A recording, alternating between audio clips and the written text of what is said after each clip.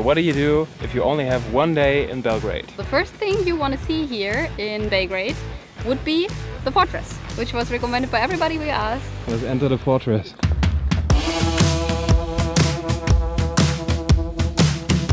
Belgrade is prepared. We are approaching the viewpoint. Lookout time.